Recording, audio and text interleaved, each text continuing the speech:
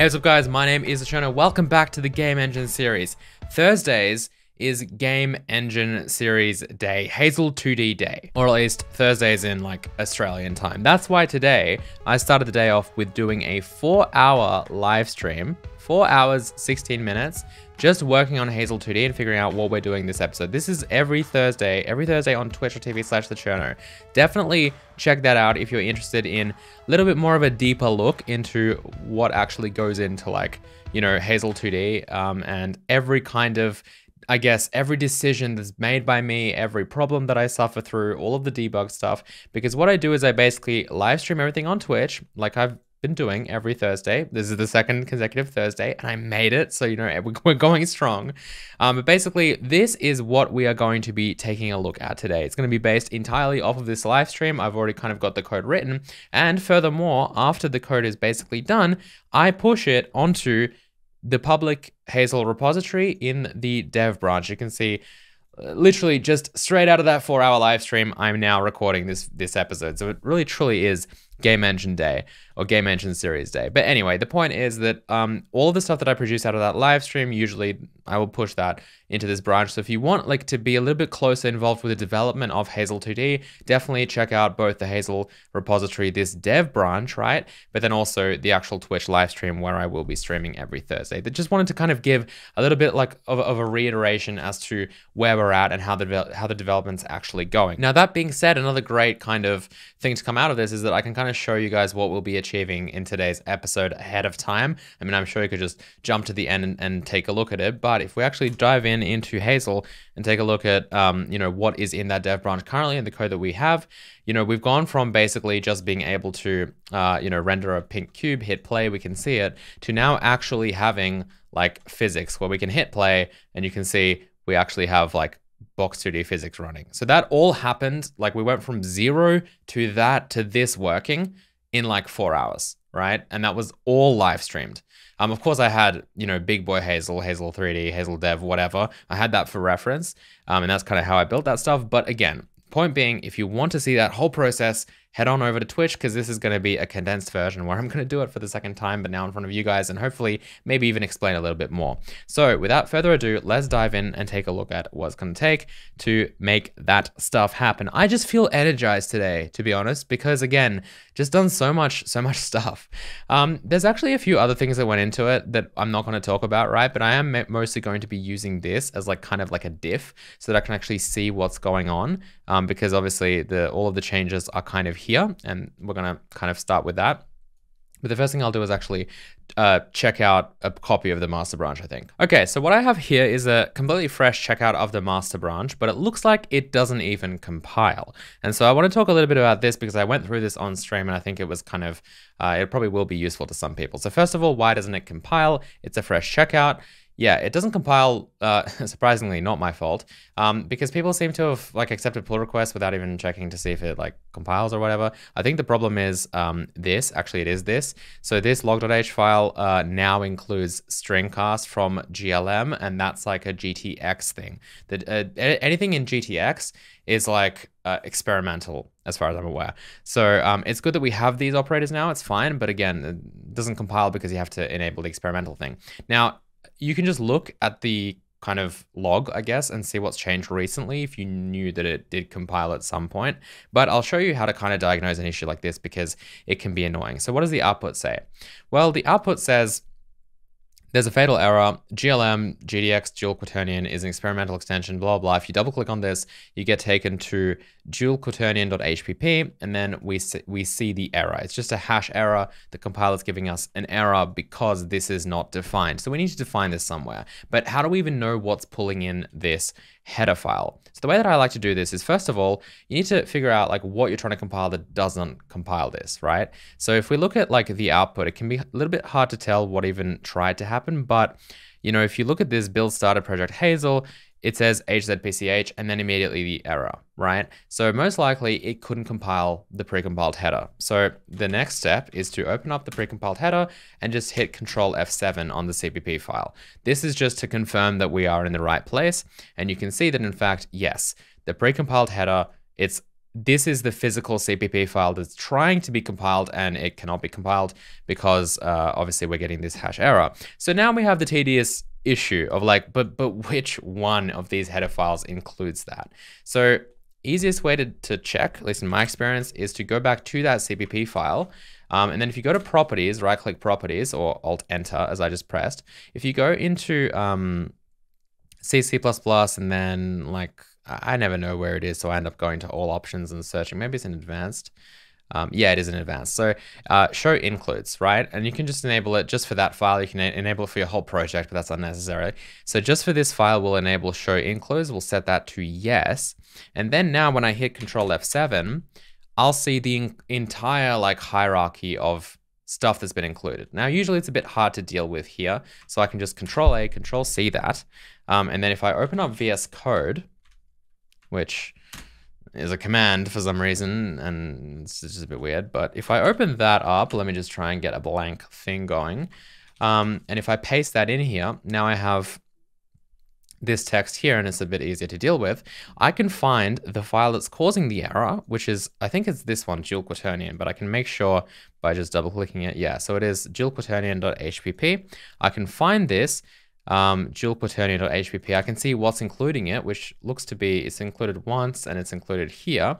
And then I can be really cool with this multi-line thing in, in VS Code, and I can just middle click drag up, and I'm just trying to basically just form a line to see the first thing, this is great, isn't it? To see the first thing that crosses that line to the left right? I may have already gone past it. I don't know. I wasn't really looking. Um, so this is this touches it. I'm not interested in that. I'm interested in stuff that's to the left side of it. So apparently nothing yet. Um, let's keep. Oh, there we go. Right, and then you can see. Oh, look. So the first, the file that includes that file, that's what I'm looking for. What file includes that file? It's GTX stringcast.hpp, that's this. What includes that? Oh, look, it's one of our files, log.h. And of course, we knew that from looking at the diffs and looking at the actual commits, but log.h is the file. So going back here, going to log.h, we'll obviously see that it includes that stringcast as it said in, in the kind of show includes thing over here, right? So then we're like, oh, okay, so including this is the problem. And what is the problem? The problem is that we need to define that um, kind of, well, we have to have that define GL enable uh, experimental, if we want to be able to actually include it. Now, two, there's a lot of ways you could do this. We could stick this in like a precompiled header. We could, um, you know, we could uh, actually make the define be part of the pre-make build so that when, whenever we build a Hazel file, it already has that defined. Um, I don't know, to be honest, what it should I'm pretty sure we do define this in other places. Yeah, we do it in math.cpp. We do it in a, in a bunch of places. So just for now, I'll just do it here as well. So we'll define that before we include that file. And then the other thing I'll do uh, quickly is I'll actually drop this below this, right? So usually what we do with Hazel is we like to include our files first and then anything external. Just so that, like, just in case we have certain definitions or certain other configurations, pushing warnings, whatever it might be, um, that we actually want to kind of take effect before we actually pull in external code. So usually we do that. Um, but yeah, that's pretty much how I would go around, uh, go about fixing and finding the like where that actually is, where that problem is, um, because it can be obviously a complete nightmare to be like, oh no, this is being included, but from where? And obviously recursive, like not recursive includes, but includes nested and includes like it's it can be an absolute nightmare to debug. So that's kind of step one in this episode. a little bit annoying, but um, uh, fixed uh, you know, um, I guess I'll uh, not being defined in um, fix that not being defined in log.h um, in recent commit. So yeah, so but just for the future, um, obviously make sure you test you test your pull request. I'm not sure if, how that would have compiled um, unless, and, and again, obviously I just did a fresh checkout. I ran setup. I, you know, re did regenerate. I did generate my projects for the first time. So it wasn't something that might have also been in pre-make, like defining that or whatever. So um, make sure code compiles. That That's, you know, step one is compiling. Step two is running try not to fail step one at least. Um, but yeah, so that's the first thing I wanted to mention. Uh, other than that, we can just get right into basically um, figuring out uh, everything that needs to go into Box 2D. So the first thing I want to start with is if you guys don't know what Box 2D is, it's a it's a pretty good, it's a great, I'll say it's a great 2D physics library.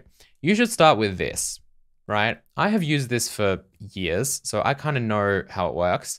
So I'm not going to bore you with this here. I'm not going to teach you Box2D because they have pretty good documentation. Box2D.org slash documentation. Start with the overview, go through this. It literally like just explains everything really well. There's a Hello Box2D which goes through how to create a world. You can see how good they have little snippets of source code. It's fantastic. This is how you learn how to do this stuff, right? Um, I would definitely recommend taking a look at this. It's probably good thing for me to read it as well because 2.4.1 don't think I've used that version yet and um, you know I'm sure there's a lot of stuff that I didn't read initially and probably some new stuff. So start with the documentation for sure. But then um, obviously we're gonna brush past that. Um, the other thing that I like to do that I do with a lot of the submodules is I fork them. So I forked box2d already. Um, I actually updated this recently I think. So um, you can see we're like in sync, we're kind of ahead because we've got our own commits here. But the reason I do this, um, I explained it during the live stream. Uh, I might even, I don't know, might talk about this some other time as well. But uh, the point being uh, is that I like to I like to fork repositories and put them kind of under my control so that I can freely modify them. Not just like add a pre-make file because I want to compile this through pre-make. You can see how easy this script is, right? Box2D is a great example of just being easy to compile. No real problems with the build there. But um, I can just easily make my own pre-make file and add that there so that I can use it with the rest of like Hazel's build system, but also I can modify stuff. So ImGUI is a great example. We have done a lot of modifications to ImGUI, um, written custom code. You know, I've fixed bugs in there. Um, that's kind of important to be able to do if you're running a game engine. You don't want to just depend on someone else's repository unless it's really immutable in the sense that like you're never going to be modifying their code. Yeah, you can make them you can make them directly a submodule. Otherwise, I like to fork it then make the fork a submodule, right? That's what I've been doing this thus far. So I've already done that. This has been around for a long time, but today, four hours ago, I uh, when I started that live stream, I um, updated it to the latest version so that it was basically in sync with master, right, from the original repository over here. Okay, so that's kind of um, that's kind of where we sit with Box2D. So that means we can easily just go to our um, repository and just add it as a submodule, right? So git submodule add the URL and then um, Hazel, vendor, and then box2d. I'll add it with the capitalization like this, hit enter, and it's going to it's going to clone it. Okay, you can see how quick that was actually. I mean, probably not because I cut, but it was it was like seconds. One other thing I want to mention uh, about forking as well is that a lot of the times these repositories contain so much extra stuff. So like, for example, this test bed, like Eh, you know, this, if you look at this, this is like a full on like ImGUI and like, you know, testing like Box2D. I don't need that. It should be part of the main repository, of course, but like I don't need that, right? So I can just, I haven't done it in this case, but I could just delete that from the fork and therefore making like the whole Hazel solution a little bit lighter, right? I mean, I don't think I'm including that testbed stuff in the build. I'm not just source and include, but still like those files have to be cloned and pulled down. We don't need that, right? Um, so that's another reason why I like to do this. But anyway, so we've got that submodule. Um, it's set now. Now all we have to do, because again, I've already written the pre-make file for it. This submodule is in use by Big Hazel as well, not just Hazel 2D um, which is this version that we're working on here, the Game Engine series. So we've been using it for a while, but um, Hazel Vendor Box 2D, it's here, right? And it's got a pre-make file. So all I have to do is like add it as a, as a, like I have to include it into my pre-make file and add it as a dependency. So I'll open up dependencies.lua and premake5.lua. So I probably will try and keep them kind of in alphabetical order. Maybe I'll have the lowercase guys first here for whatever reason. Um, I don't know what order to put these in. Like you could try grouping them by categories. Like this stuff is all kind of graphics related. GLM's like math, it's kind of core, I guess. Entity like shaders. I don't know. I'm just gonna put it up here. Um, workspace location, Hazel vendor, then box 2D, and then box 2D doesn't that does in fact have a, a, folder called include, which has all that stuff there. Now we don't need to include the library directory because we're not linking it as an external library. We're actually compiling it ourselves. So because of that, we can just go to premake5.lua and over here in dependencies, we can just include it. Again, I'll include it kind of in alphabetical order, kind of. actually, I guess that is in alphabetical order, except for that. But um, Box2D is now included, so it should be included in our dependencies over here sorry, over here, dependencies. Um, but then there's a few other things we have to do to specifically Hazel to actually link the library and also add those include directories that we just defined in dependencies. So if we go to, um, let's see, Hazel, and then look at Hazel's premake file, then we can say that we want to link box2d. Again, I'll do it in alphabetical order. Shouldn't matter too much. Um, and uh, the include directory, again, I guess in alphabetical order. So box2d. And I think that's it. I think that's literally it. so you can see how easy it is to set this up if you already have that premake file. So now I'll just regenerate those projects again. You can see it's made the box2d stuff. Um, if I hit reload, then I guess the premake files are included in premake. That's kind of nice, right? Yeah, that, that that's nice. I didn't notice that before. Um, anyway, so we have box2d here. Let's right click and hit build, try and compile it. Should compile without problems, I hope. Debug x64. My Visual Studio lately, by the way, has been just a complete disaster. I don't know what's going on. Like, look at it. It's just frozen now. It's just frozen trying to compile stuff. There we go. Finally started the build. And there you go. You can see how quick that was. Of course, with multi-processor compile enabled and my like 16 cores, it's pretty quick, but um, that's done. No warnings, no nothing. We have the lib file and it should be linkable and everything should be great. So that is how we add a submodule, really easy stuff.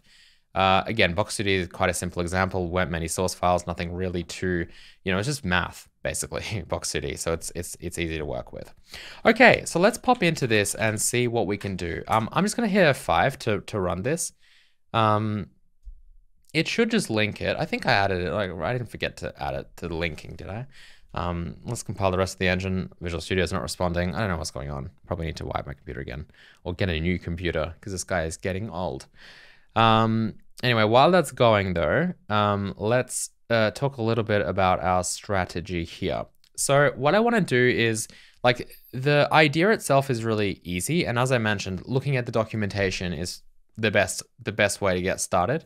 But what I'm going to do today is specifically just make it like, you know, I'll get it to the state that I showed you in showed you at the beginning of the episode. Look at this. It's still not responding. What a pile of trash. Anyway, as I mentioned, we'll get it to the state that I showed you in the beginning of the video. But to do that, all we really need to do is basically i don't think we have in our scene in our scene class i don't think we have an actual like entry point that we established like a runtime start function. In our editor layer we made that um, on scene play or something like that. We made that function uh, i think last episode which i'll have linked up there. By the way i should have done that at the it'll probably be linked since the beginning be, since the beginning of the episode. But basically you know, we have that play button, but it needs to actually trigger something in the scene because at that point we actually want to initialize the box 2D world and populate it with all of the rigid body 2D components that we're about to create, and then all of the, you know, box colliders or whatever else we have.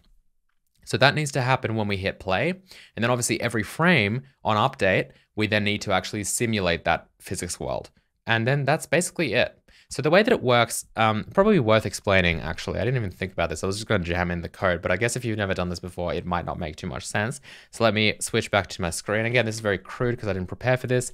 We're gonna we're gonna just maybe I can um fill this with just like black or something, and then draw in white so that my screen isn't so that my um face isn't overexposed. That's the real reason. Yeah, I guess I can. So basically, the way that this works um, in Paint is uh, you know, we have this kind of uh, box 2D world, which contains a representation. So I'll call this box 2D world. This contains a representation of all of the actual physical bodies that we have in our scene. So we call these rigid bodies. They are literally, if you just imagine like, oh, I have, you know, if we look back to that scene that I showed at the beginning of this episode, we have like a box, we have another box. This is like kind of like the floor. This kind of moves around and bounces around, right? So these are both rigid bodies. This one we call a static rigid body because it does not move, right? Or at least it doesn't like, it's not really affected by gravity or by physics itself. You can't push this around. Of course, programmatically, you can decide to move it somewhere else, but it doesn't get simulated, right? It basically adds as it acts as like a fixture as like something that's permanently fixed now this on the other hand is a dynamic rigid body um, in the sense that like when you hit play, it will fall, right? If this was also dynamic, the floor would just fall and that would be useless, right? That way, this is kind of fixed, it's being kind of held by imaginary pins. Of course, in the real world, we have like, you know, the Earth floating in space. It has a gravitational center. This isn't really the case for Box 2D or anything. So that's why we have this concept of static because we need to be able to fix something in space. Otherwise, everything moves and that's a disaster, right? So we have these rigid body 2Ds. They also have something called a collider, right? They have to have a collider which specifies what part of it actually kind of gets uh, sent to the physics system. So the fact that we're rendering this as like a square and I think that's all great. But that has nothing to do with like the physical mathematical representation of um, our actual bodies here, right? So usually what happens is, um, you know, physics libraries like Box2D like to deal with half extents. So in other words, you have a position which is basically the center of the object, and then you have a half extent, which is basically kind of like the radius instead of the diameter, right? So it's not the total length of this thing. It's from that it's from that position point how long till the edge, right? So in other words, if this was a one by one meter square like this, then obviously you'd have a 0.5 by 0.5 kind of box collider extent, right? That would be the size of the box collider, 0.5, 0.5. So that's how we basically, like this mathematical representation we give to Box2D, and then it's able to basically run a simulation, right? So this will fall on that mathematical representation. But then what we want to do is show that. So we need to basically take that back and render that on the screen somehow, right? So how do we currently render things? Well, we use the transform component, right? So we have a, we have a transform that contains like our translation rotation scale, right? That's what we use to actually physically draw this. So if we want to draw it down here now, right, we need to obviously pull that data from box 2D. So in other words, in this case, we'd be pulling, well, you know, this is 2D physics. So we just need the XY position, right, of where it is. There is no Z position, Z is zero. And then we also pull just the Z rotation, right? So in other words, you can't rotate it in 3D space. You can't just suddenly make it kind of lie down like that it's going to be like rotated this way, right? So that's a bad drawing. Rotated this way, right? Which is obviously going to be through that kind of depth, that Z axis. So that's what you need to do. Um, we need to pull that back. So in other words, we first basically, when we hit play, we give Box2D all of these representations, all these mathematical representations. We tell it, hey, this is static. There's a lot of other kind of properties as well, like, you know, the friction of a surface, the bounciness or the restitution of a surface. Like there's a few different other things that, like the density, how heavy is it, stuff like that. You know, we can give it um, way more parameters than just like this is where it's located and that's it. We can give it like physics material properties basically. But at the end of the day, you know, this is just what we're dealing with, right? We're, we're dealing with these parameters that we give to Box2D, and that happens when we hit play. Now, every frame, we need to update all of these bodies, right? So we basically tell the Box2D world to simulate our physics. And then once it does that, once the simulation has completed, right, we need to actually go through all of the, these Box2D bodies basically and pull this orange data back and apply it to our transform component before we render it. And then we render it. And then everything's great. It's been affected by physics. Now, there's a few important things to note here, right?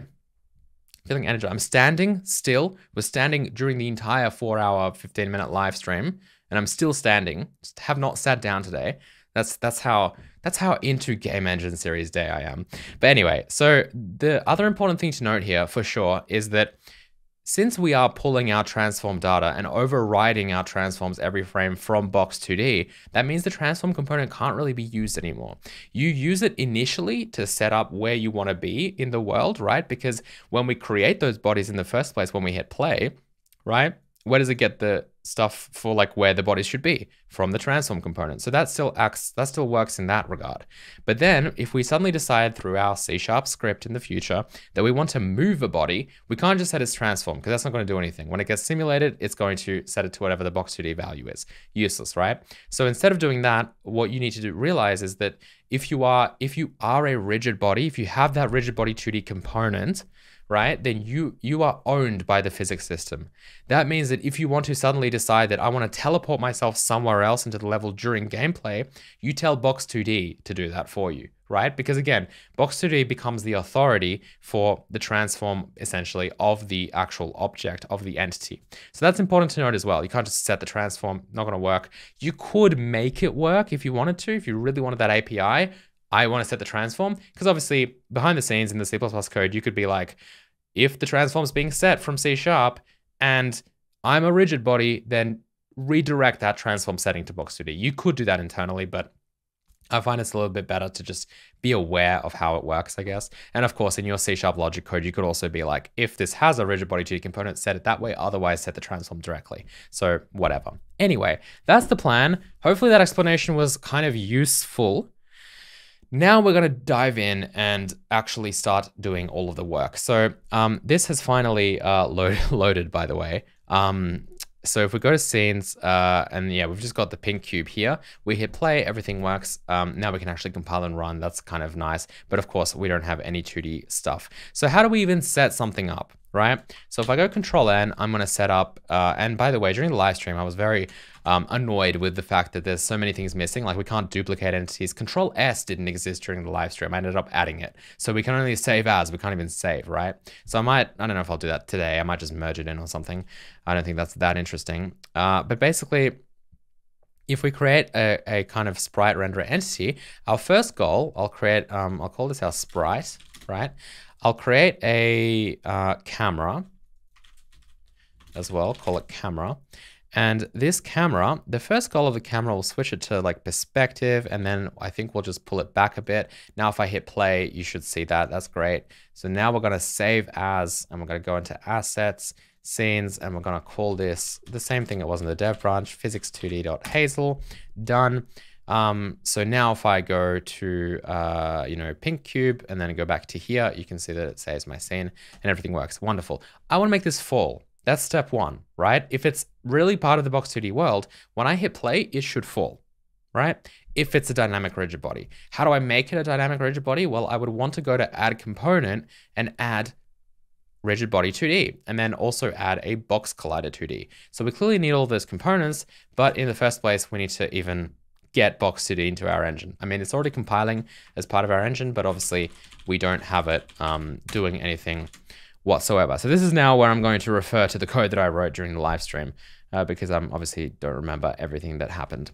So basically the first thing we need to do is store a Box2D world, right? Again, consult the Box2D documentation, but this is called a B2 world.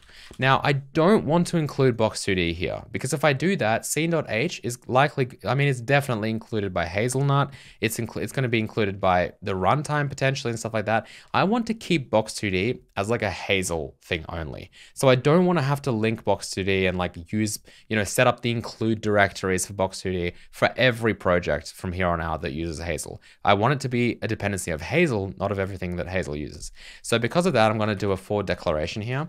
So B2 world, right? Has to be outside of the namespace here. I could put it here and just do like a blank namespace, but I'm not, I'm not going to do that. Um, and then we're going to add it as a raw pointer. Yeah, that's right.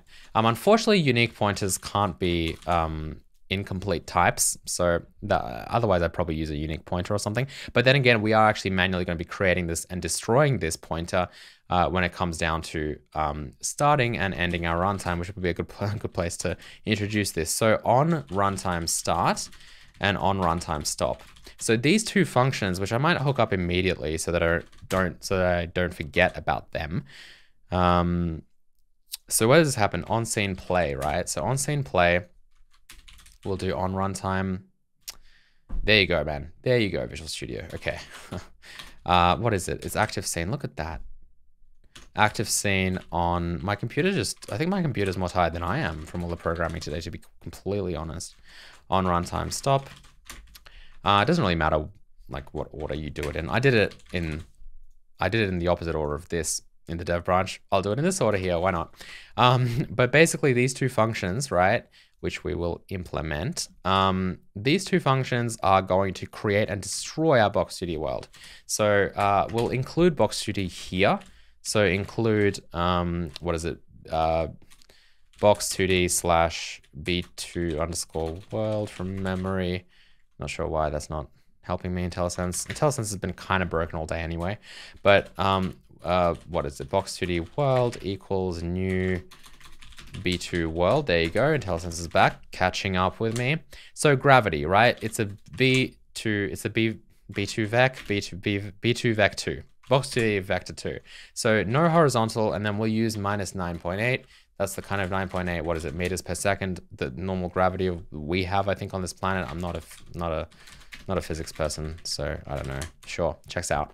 Um, might want to look, might, might want to look that up. Uh, I'll do, I'll call it this physics world, right? Come on.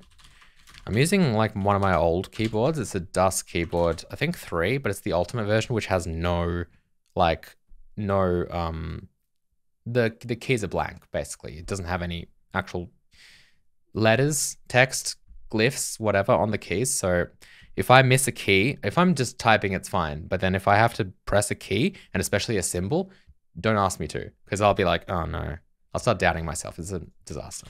Anyway, probably not great for recording videos, but whatever. Um, so yeah, so we create this Box2D world, and this happens, of course, inside our uh, kind of um, on runtime start function. And then what we want to do now is actually go through, okay, well, actually, since we're since we've created it, we might as well destroy it. So we basically do delete, and then we'll uh, also set this to null pointer, because of course the scene isn't dying. Um, so we want to make sure that if in case we're debugging or whatever, that it is in fact null pointer, not whatever memory address was left over that we deleted, deleted the, the data from.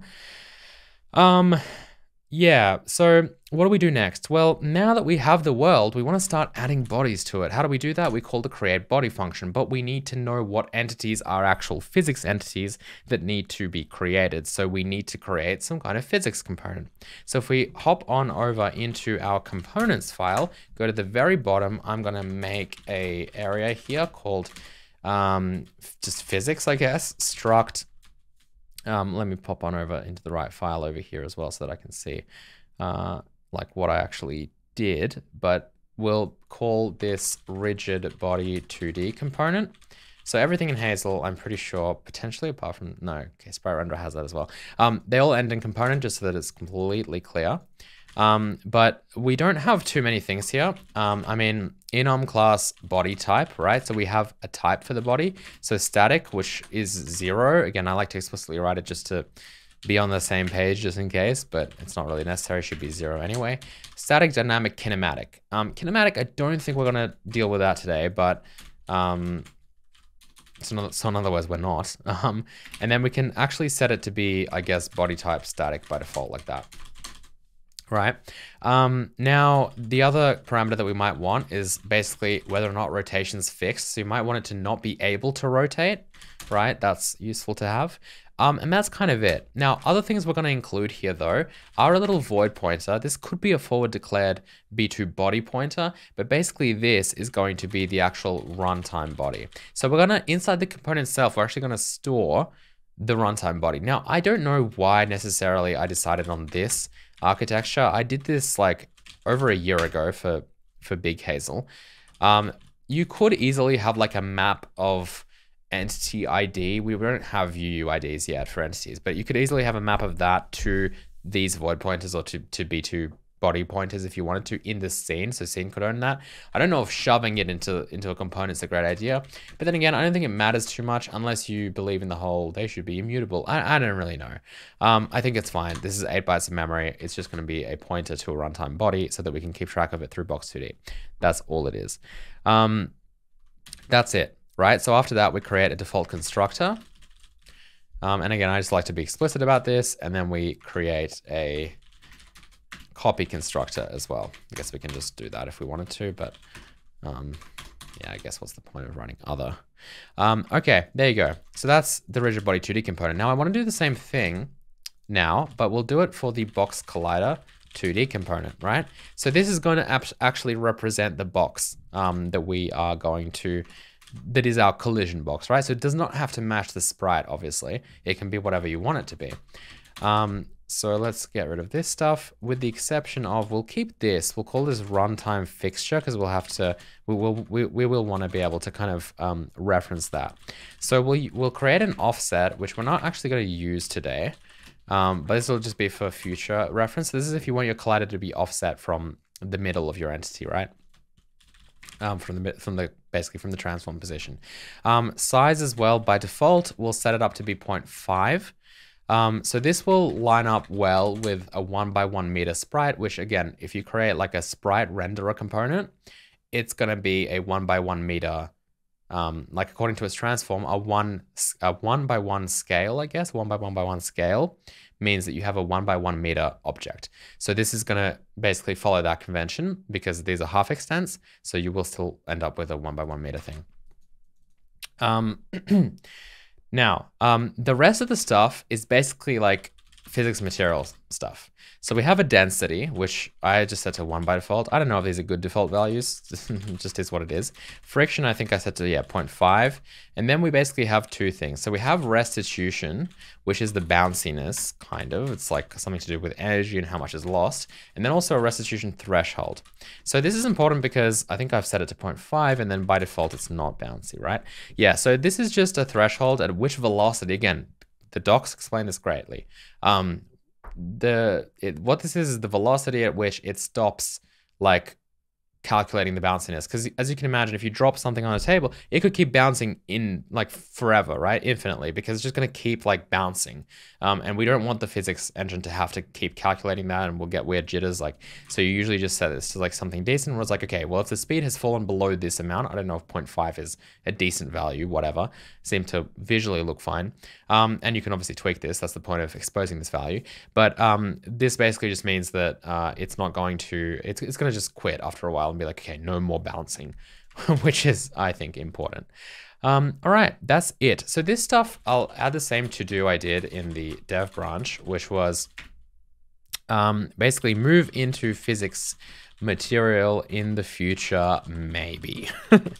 um, so that we move this uh, basically into an actual physics material because that's kind of what it is.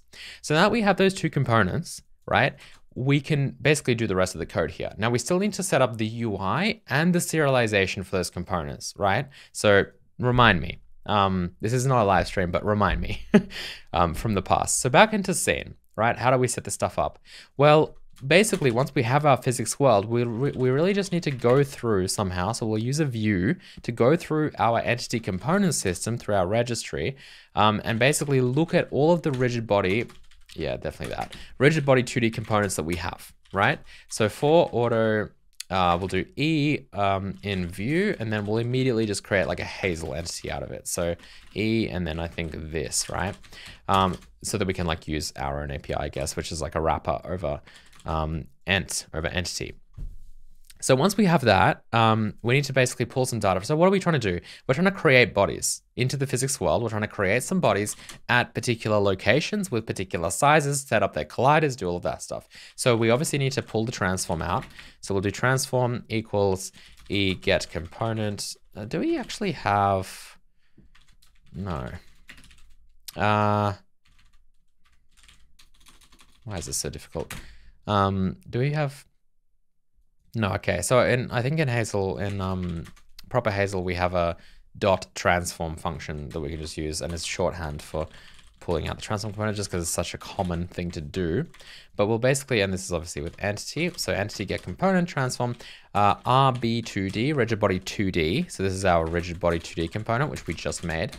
Um, what else do we need? That's probably it. So now we can actually start creating a body. So in order, in order to be able to actually do create body, you can see we need a body def. That's like a body definition, right? So um, basically B2 body def, right? This is our body definition, and then we can start filling it out. Now, I think we'll probably have to like include body, and while we're here, we might as well include fixture, probably it. Do we need like shape? We're gonna use a box collider, so is there like a shape, polygon shape, I think we'll use. Yeah, include everything. So this is all the box 2D stuff. Um, so we to we'll pass that in. So it just takes it in as a const pointer like that. It's going to copy all the stuff internally. I'm pretty sure. Well, it, it definitely does because this will go out of scope, obviously. Um, and then we basically set up all the stuff we need to for a body. So the main things in the body again are things that we have here: the type and the rotation, and that's that's it from the rigid body component, but then from the transform component, we need to set the position of it and stuff like that. But the first thing we probably care about is the type, right?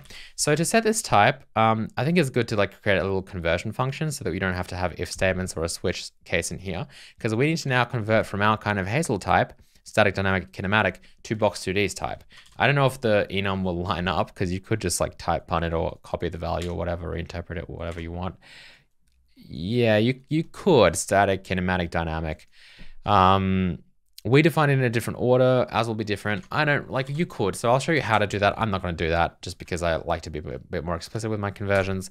But basically, what you could do is basically take our rigid body 2D because they're just integers, obviously, and just be like, no, no, no, it's this. Done, right? I don't think it'll let you apply this just because they will show up as different types, but if you cast it, it will be fine. Um, you could do that again. In this case, we we would have to switch dynamic and kinematic, but I'm not going to do that. I'm going to write a conversion function. So to do that, we'll just do static. Um, what's the actual type? B2 body type. Um, we'll do Hazel. Uh, what did I call the function? Hazel rigid body 2D type to box 2D. to box 2D type, basically. So um, so this will be a rigid body 2D component, body type. So this is the uh, body type. We're taking that in and we're converting it here. So you can just do a switch statement for this, of course, body type. And then what do we do? Case, body type, static. We'll return static. Um, so yeah, this is just a bit nicer in general, just because you don't have to worry about um, you know, this is kind of, since we've defined our own types for it, it's nice to be a little bit more in control with conversions just in case they change stuff around. Because obviously they assume if you use an enum, it doesn't really matter what the value is unless you serialize it. And then again, I, I like serializing enum values as strings rather than as numbers, unless you are doing a binary format for runtime, that's fine. But in terms of like for an editor, definitely serialize it as a string because that way um, it doesn't really matter. Um, you know, what's up. Uh, so we'll core assert false because that's an unknown type. Unknown body type. I don't know. Do we need a dot? A full stop? No.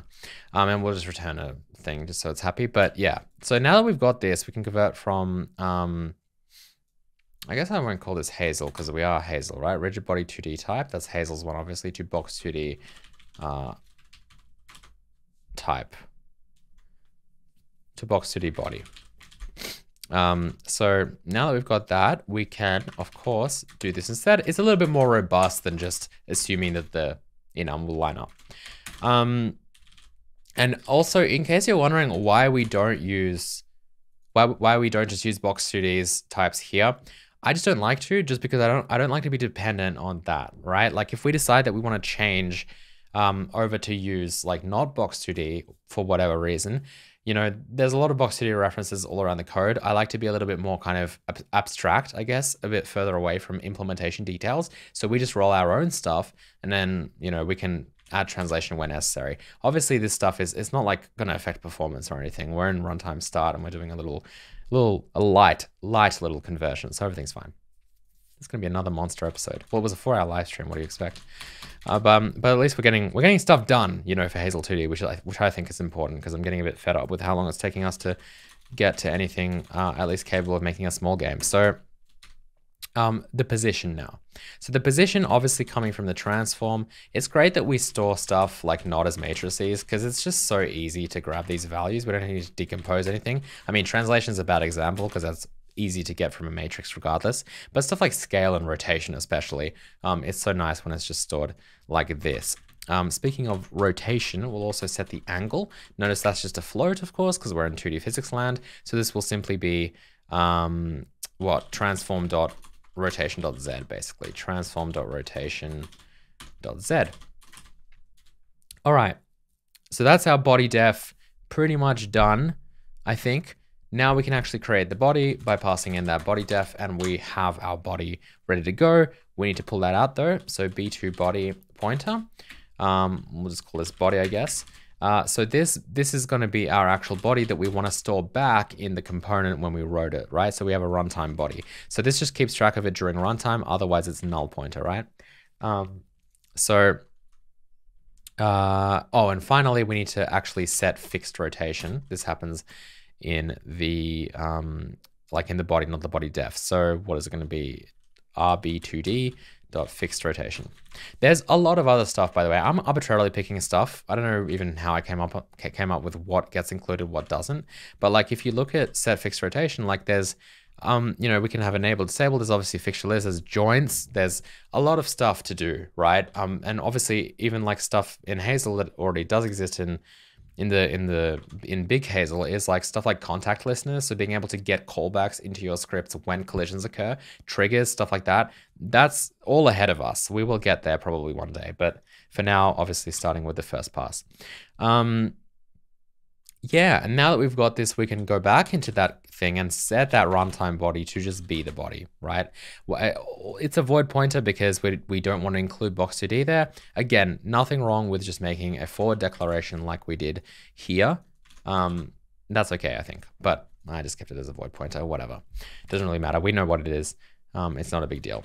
Now, we could go through this again, except this time checking for box collider 2D stuff. Um, but instead of that, I'm just going to do if, and again, from an entity component system, I don't know if this is what this is might be worse than just iterating through all of them in a row, but this is on runtime start, not a big deal, I think. Could change it later if we need to, but it's just code wise is a lot it's a lot better to just have it here.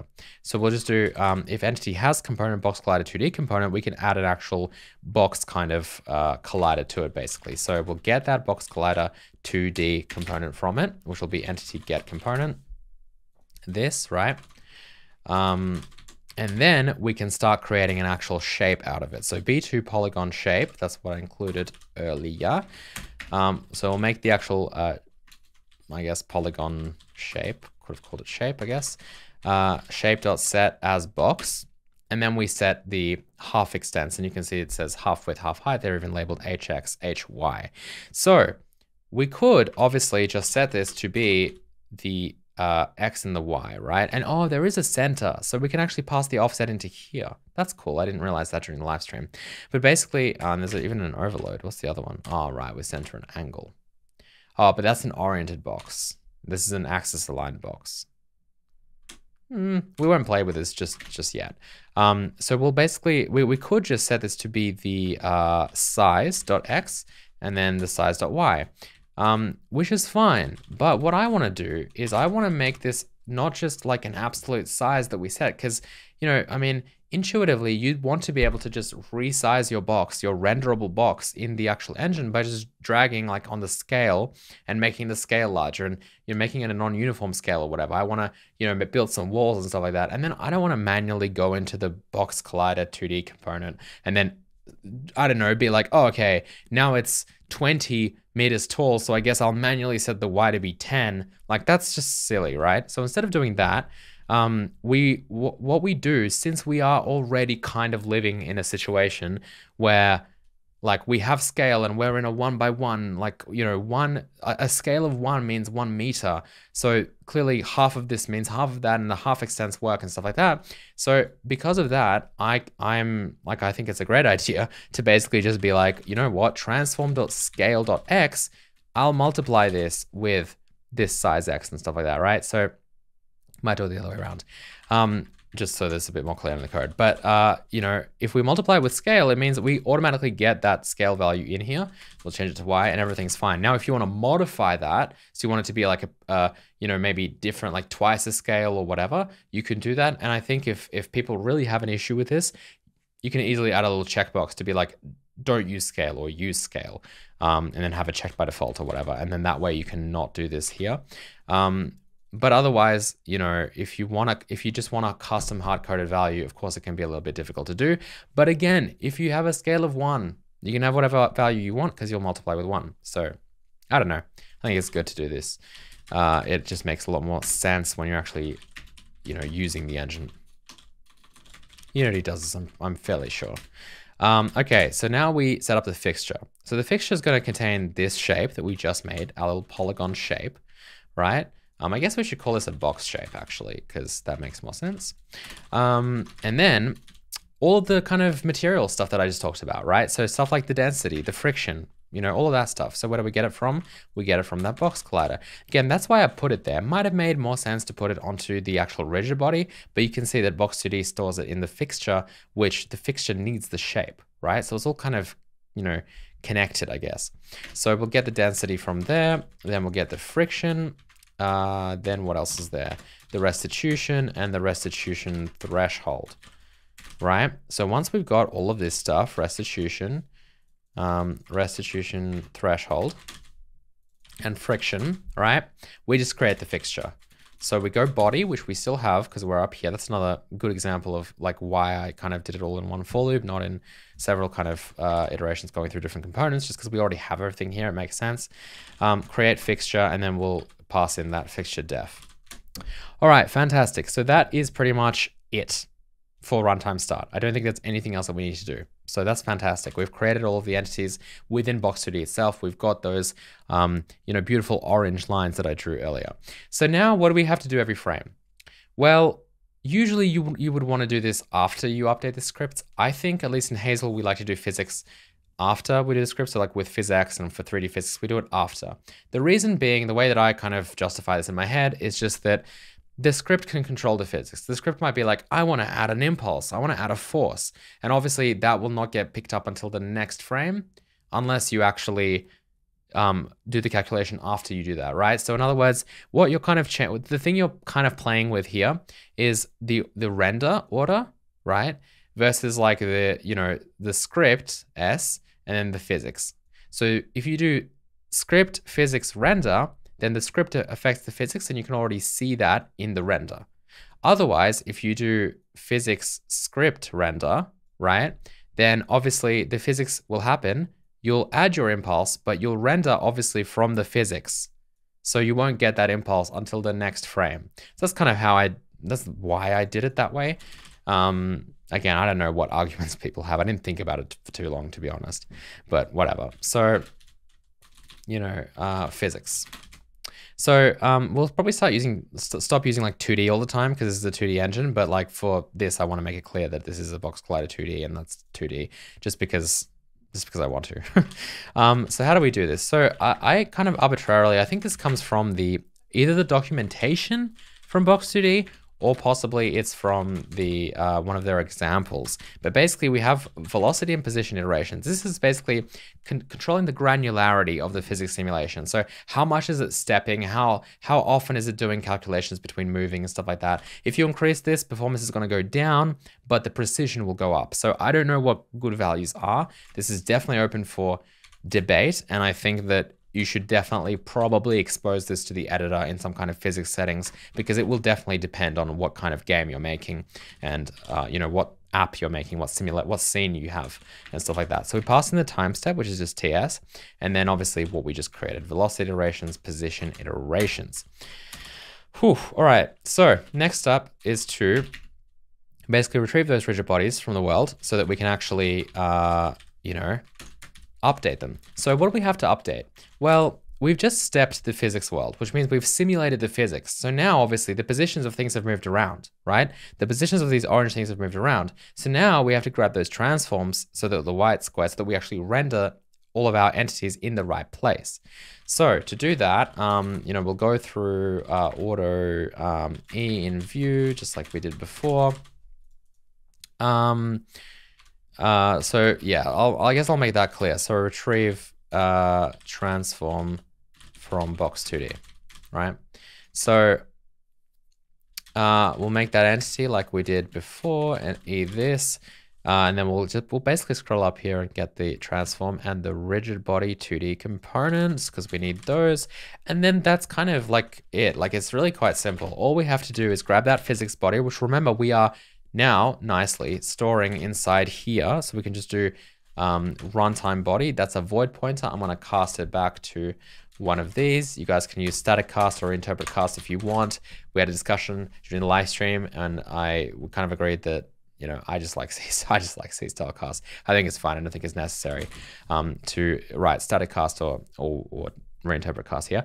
Um, this is a void pointer and we're just casting back to here. Um, now, if you didn't store it on the component, this is where you'd probably want to also retrieve maybe the entity UUID or whatever, and then be like, hey, scene, you know, give me my entity box 2D body map, and then I want to, um, you know, I want to get my entity ID, and then that way you could kind of get your body. That's the only other way I can really think of doing it.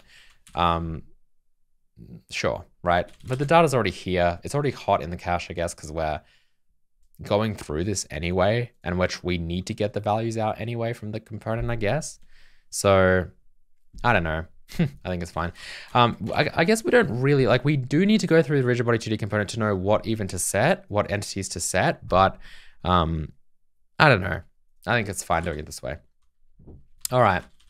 And it's not that I sound like, you know, insecure or defensive of my strategy. I'm just literally thinking out loud. That's all.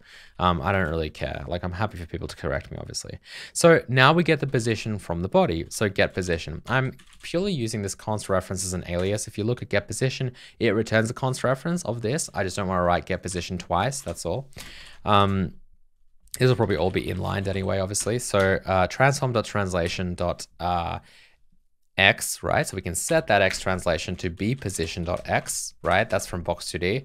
And then we do the same for y. So we're just copying the x and y position from box2d into our transform component, thus changing our transform component.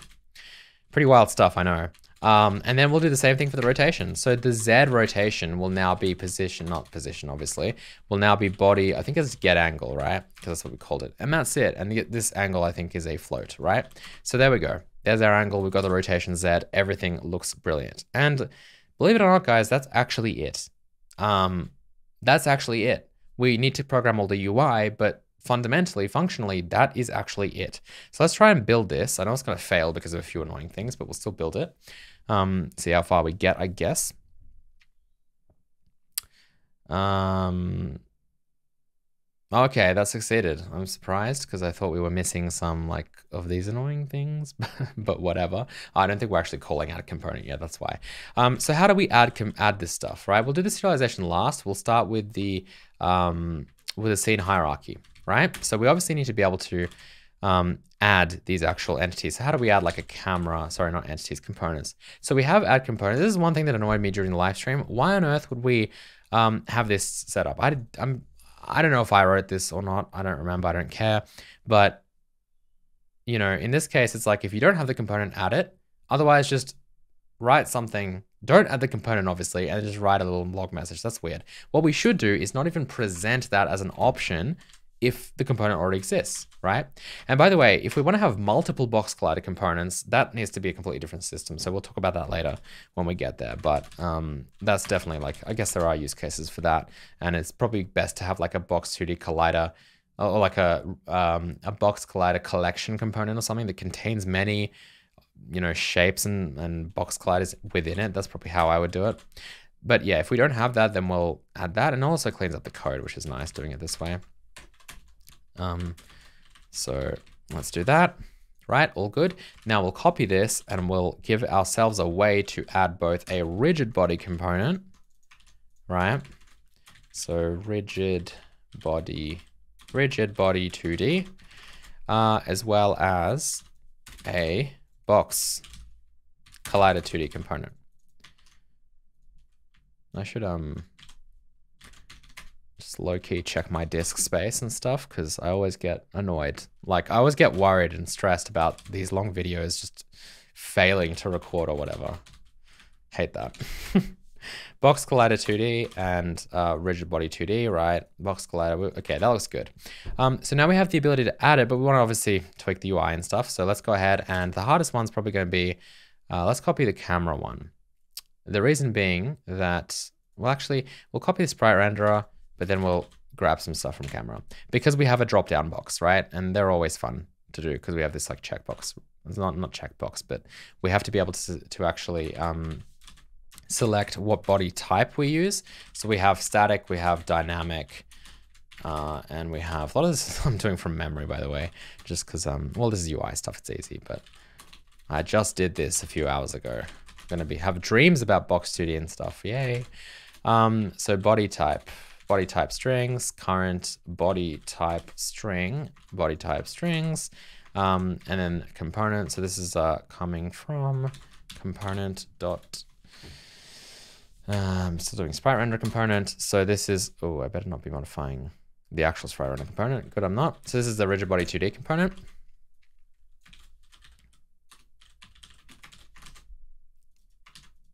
Component.type, I think. This is useless. yep, type. Cast it to an int. Um, getting that stuff out, current body type. So this is our body type. We'll put in our current body type. So basically current projection string gets replaced with that and projection type string gets replaced with body type strings. And everything else should work apart from setting it. So to set it, we just do component dot uh, body dot type equals, um, this is slightly annoying, but rigid body sense being useless as usual. Although I did misspell that, I guess. Body type, uh, I, right? Um, that's it, I think. I don't think I did anything with cameras or projections. I don't think I left anything there. Whatever. We'll debug it if anything. So that looks good. That's our body type. Um, what else do we have inside that rigid body component? So just, just fixed rotation is the only other thing, which is kind of nice. So I think this is just a checkbox. We really need to redo this UI as well because we've still got labels on the right side and need to integrate some new UI. If you guys haven't seen the new UI, by the way, I'll have it linked up there um, if I remember. But it's the latest kind of Hazel devlog. Um, check that out. It looks so good. And we're going to start probably bringing some of that back into here as well. So uh, what is this? Fixed rotation. Um, so let's see.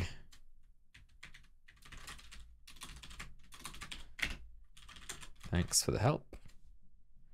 Oh no. Oh no. My whole computer is frozen. okay, so I almost just had a heart attack because my computer froze. Just mouse would not move for like a few minutes. But the I stopped the recording and the recording uh, after it unfroze and the recording is safe. I was almost about it. I was an hour and eight minutes into that recording, man. If that, no, it's not good for my heart. anyway, let's get back to it. So uh, at least I have the first part saved. I wouldn't mind resuming from here if I had to. Anyway, so component fixed rotation. Um, that's easy enough. So, so we've got that going. Um, now we just need to do the same kind of thing, but for the uh, box collider stuff. So box collider 2D component. box collider 2D. Don't need any of this stuff, obviously. Uh, it's actually pretty simple. We just need to basically have um, an ImGUI like drag float 2, I guess, for the, so yeah, all, all this stuff from here basically. So let's maybe just kind of display that side by side or something um, so that we can quickly see it. Nothing really to do here. So we'll have uh, offset, which will be GLM value pointer component dot offset. Um, then we'll have uh, size, density, friction. And these are just drag floats. Density, friction, restitu restitution, and restitution threshold. That's it, right? Okay. So these are all just component dot. Uh, now, because restitution, so if you read the docs, right, um, restitution, hard word. Um, if you read the docs, then you'll see that um, these values, like threshold not, but like these values are mostly between like zero and one, right? Actually, I think it's not even the docs. I think it's just like the code that says that. So if you look at like density or whatever, no, that's our density. Um, it says that like, yeah, usually in the range zero one. So friction, restitution. So you don't have to lock it to zero one because again, usually in the range means that like not necessarily, you know, it, like it could for whatever special effects you might want to exceed that range. But again, like I don't know if it's worth locking it and having a button that's like unlock because again, for most purposes, you might want to lock it. Um, but yeah, I think what we'll do is we will lock it for now. So 0.01 will be the speed and then 0.1 will do. All right, same for friction, same for restitution, but for the threshold, um, we'll have zero as the minimum. Um, so this is speed, so 0.1 speed, zero minimum, and we won't have a maximum because um, yeah, Okay, that's it, I think. No weird checkbox here, but that's basically it. Oh, like offset, offset everywhere. Yeah, basically it. Well done, Cherno. Um, so component dot density. This all needs to be removed. Uh, density, we've got restitution, and we just have, we just need friction. Okay, so that's basically it, I think. Um, have we just done like everything that we needed, needed to do? I feel like we might, we may have. So let's go ahead and hit F5 and see what happens. Um, again, serialization is the big thing we haven't done yet. We want to be able to save our components. Okay, this is what I was talking about. So we need to have, um, I don't know why I did this, man. I was a bit, I was kind of upset, upset at myself on stream for doing this at some point, I guess. But like, why do we even have these? I guess if we want to trigger these events when they get, when certain components get added like this, but I don't know, they're kind of enforced everywhere which is weird. Maybe we should make them optional somehow. I don't know. It's just to try and call it. And if it can't find the, if it can't find the function, it's linking error. So it's not the best thing. Um, but anyway, uh, we'll just, we'll just shut up and add them here in this case. Copy that across. Um, and yeah, now we should be able to, I don't know if we've done everything correctly. I haven't really referred to my notes much. Just had the screen recorder here so I can make sure everything's recording. Um, but uh, if we go to scenes physics 2D, if we hit play, will we will we see it fall? That's the moment of truth, guys. Are you ready? Play. I failed. I failed you all. Oh, no, no. No, I haven't failed anyone. I haven't added the components yet. so add component, rigid body 2D, add component box collider 2D. So rigid body 2D over here, we'll set it to be a dynamic um, body, of course. We'll leave everything else as default. Now let's hit play. I didn't fail anyone. Okay, cool. Now notice how when I hit stop, it's gone. It's not actually gone. It's just down here because obviously um, at the moment when we hit play, it plays the existing scene. There's no resetting scenes. Usually what you do, what, what you would want to do and what we do in Hazel and Big Hazel is we copy the entire scene when we hit play. So it's like a new scene. It's like a runtime scene that you're playing. And then that way you delete that scene when you hit stop and you fall back to the editor scene. Uh, so that's how we do it. And that's probably what we'll do here, maybe next episode, because that is definitely important. But yeah, let's add another entity. We can't save any of this, which is annoying. We should probably add serialization first. But it, but just just to kind of test it, we'll add another entity. Um, we'll uh, let's just uh, we move this down a little bit. I'll actually add like a non-uniform kind of scale, so we'll test that out if that works. Maybe let's back the camera back a little bit more. Uh, and then I'll add a, a, box collider to it, and I will add um, a rigid body 2D to it. We'll make it static this time. Let's hit play. There you go, right? It sits on the box, amazing. And of course we could uh, rotate this and it will kind of roll, that's great. Um, and then also let's do one more thing. Might back that camera up even more. Be nice to have like a picture in picture for the camera so we can see what it sees. But the other thing we'll do is uh, maybe, um, well, let's set the restitution of this a bit higher right? It's like 0.5. So now it should bounce. Hey, it's a bit bouncy now, right? So that's it, basically. You can see it all working. Um, did not take that much time, did it? Um, yeah, pretty easy to do. The gizmos are using the wrong camera. But yeah, that's our little bouncy world. Now we can't duplicate entities either, right? Which would be great because we'll probably add that next episode when we actually add the um, scene copying and stuff because a lot of the same code can be used to duplicate entities. But uh, yeah, that's basically it. So we can't save. That's our last thing. So how do we save? Well, saving, very easy, right? Um, we just need to manually add the stuff into scene serializer. Now, again, if we had some kind of automatic reflection system, probably wouldn't be the worst thing in the world because it would save us a lot of manual code. But on the other hand, I kind of like the simplicity of this stuff. Um, you know, we don't have to have anything crazy. People understand how this system works. Um, and obviously once you kind of have your components in place, like it's just something you do for components. So I don't know, I'm a bit, I'm a bit torn. Um, I kind of like it to be honest. Um, so uh, RB2D component. So we'll retrieve this component if it has it, of course. Um, and then we just need to serialize all the values, which again, we just have static dynamic kinematic um, and then fixed rotation, right? But the thing is with the body type, I want to serialize it as a string, not an integer. And I mentioned this before, just in case we rearrange stuff or we like, I mean, it's not that bad here. These are kind of fixed, right? But in general, it's it also makes it easier to read the actual YAML file if it's text. And of course it's YAML. So we're, we're trying to make it easy to read, easy to merge, you know, human readable and writable even. So uh, it's nice to kind of do that. So let's add a little function probably up here. Um, and we'll call this, so std string, um, this will be a rigid body 2D uh, body type, I guess, rigid body 2D body type to string.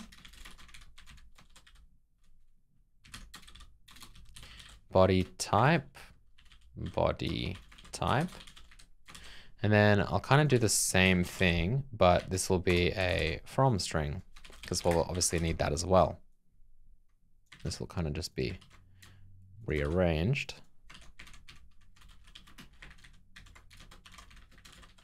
Body type string. Um, okay, so how's this going to work? Well, uh, we'll just do a switch for this case. So body type, case um, static, will return static, uh, dynamic, kinematic,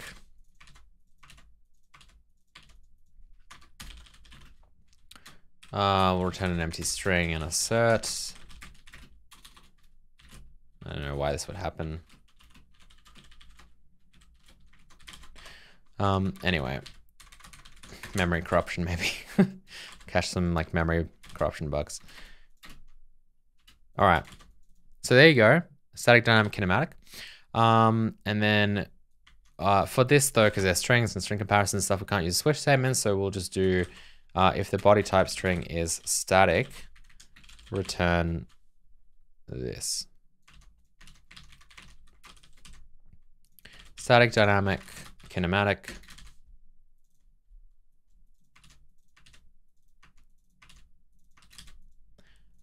Return just static, I guess, and assert. If it's for some reason neither of these.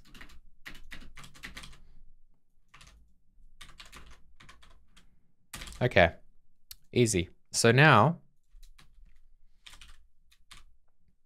uh, we do two string for the serialization. So it's going to be this body type or just type. Um, and then finally for the fixed rotation, we'll just do the fixed rotation.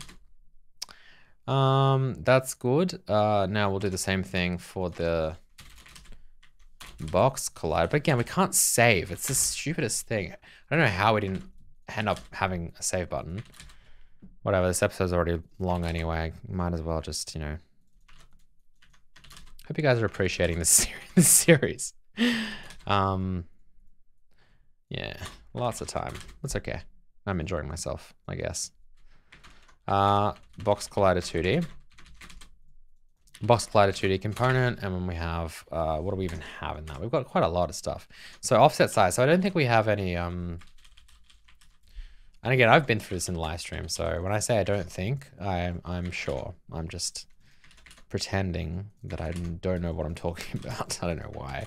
But uh, we don't have any vector 2 kind of functions. So if you look up, we have vector 3, vector 4. We don't support kind of serializing vector 2s, so we'll add that in. Uh, it's pretty simple. We'll just get rid of z and we're done. Um, and then finally, we'll do the same thing for like decoding them basically. So can this kind of convert node as well. So two, two, get rid of this, two, get rid of this, two, right? And that's it. Pretty simple. So now we can serialize and deserialize vec2s pretty easily. um, where was all this stuff? Uh, offset, size, uh, what else do we have? So yeah, density friction, density, friction, restitution, restitution threshold, and then I'll just copy that. And that looks good. Okay, that's it. That's our box collider component done. Uh, now, obviously, the deserializing stage. So, rigid body 2D component.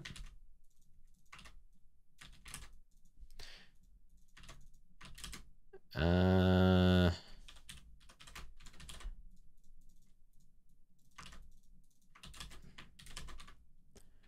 so rigid body 2D. What do we have? Runtime body. Not runtime body. The the perfect thing to serialize. So rigid body 2D uh, from string, right? So we, we're reading the string. Um, uh, body type, right? Dot uh, as std string. Then we convert it. Um, fixed rotation.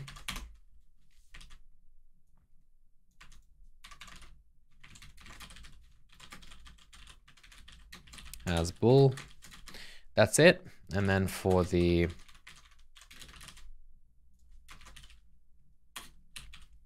box collider 2D component.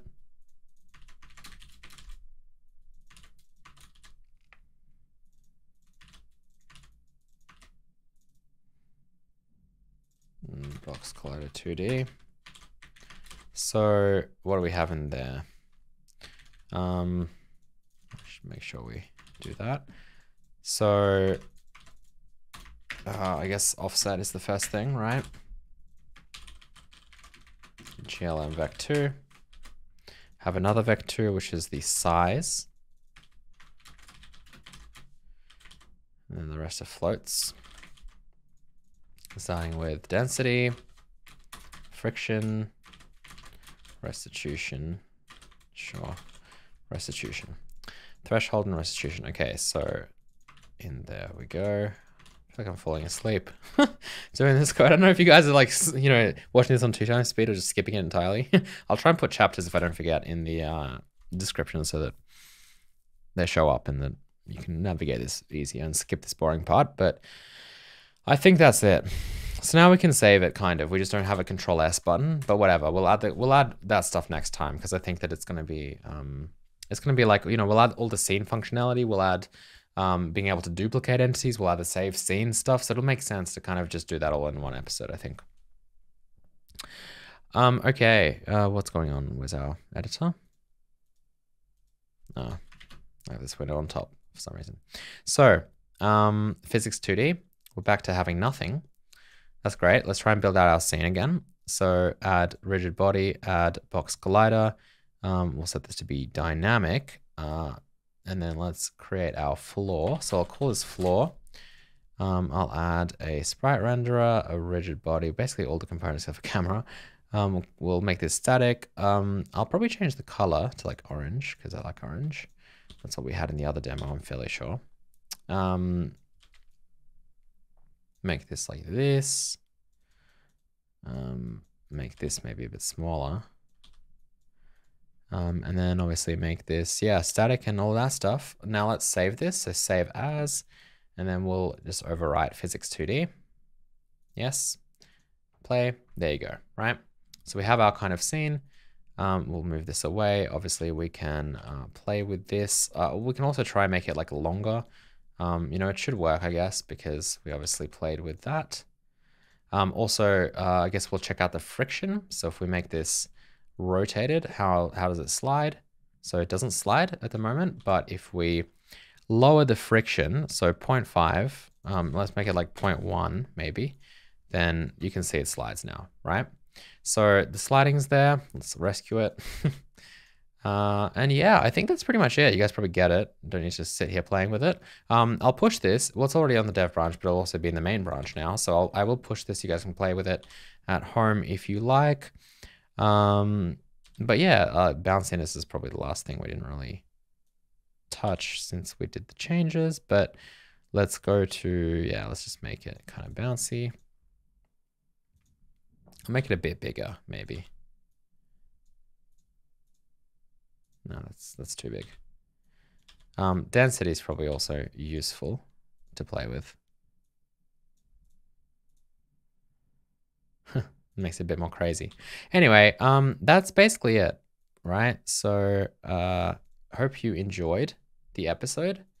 Yeah, you gotta have it on a bit of an angle, otherwise, lol. There you go. Fun times. So that's how it works. Um, again, if we had duplicating functionality, we'll play with this more next time. We can set up an entire maze. Um, otherwise, making these entities from, from scratch is really annoying. Um, but yeah, that's it. So again, I'll I'll save this uh, physics 2D, and then I'm gonna load like pink cube, right? And then I'll go back to physics 2D, and we have all of our stuff, and it works, right? So that is it. Hope you guys enjoyed this video, this very long video of us doing 2D physics. Um, Box 2D, uh, again, not that difficult to implement, I think. Um, you know, we went from scratch to having it in. You know, if you know what if you know what you what what you're doing, it's quite quick. But obviously, if you're doing it for the, for the first time, it will take longer. It took me longer the first time I did it, obviously, um, which was years ago. But uh, hopefully, this was kind of beneficial to you guys, not just if you're following along with Hazel and you want to learn, but also maybe for your own engines, stuff like that. Um, again, nothing really to it. Just need to know kind of what you're doing, which the documentation is a perfect place for. So don't skip the docs. Read the docs at least a little bit. Learn to read, not just copy code. Um, it's very, it will help you out in the long run, I promise you. But anyway, I hope you guys enjoyed this video. If you did, please don't forget to hit the like button, patreon.com slash thecherno, best way to help support this series. Get access to Hazel uh, 3D to the full version kind of of Hazel to the, to to not just Hazel 2D, but you know all of the massive work that's gone into that.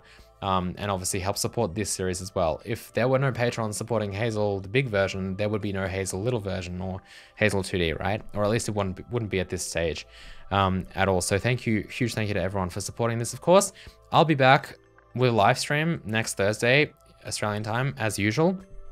But until then, have a great rest of your day, and I'll see you guys next time. Goodbye.